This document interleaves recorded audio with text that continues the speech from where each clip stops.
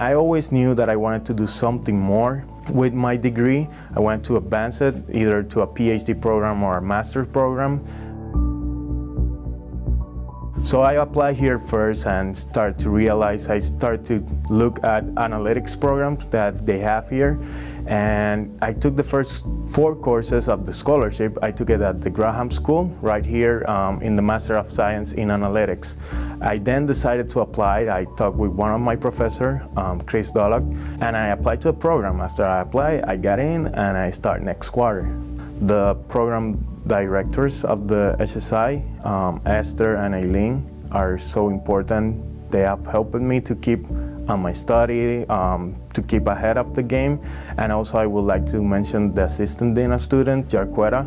I always think of her part of my family out home because she has welcomed us just like that, like we are family. And also the professors has been so welcoming and they have helped me a lot in every possible way.